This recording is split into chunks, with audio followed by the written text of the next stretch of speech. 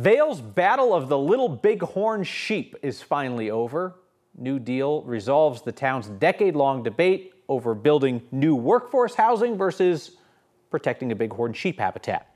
Vail Resorts is dropping its bid to develop 23 acres in East Vail to turn into housing for lower wage workers like lift operators at the resort.